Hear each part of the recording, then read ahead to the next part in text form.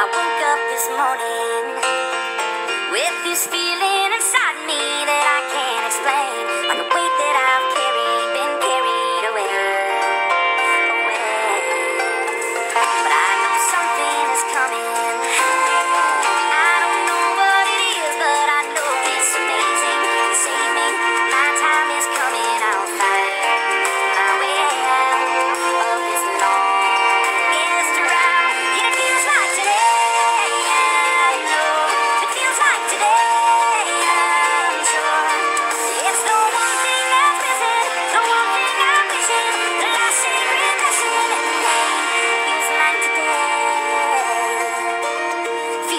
Today.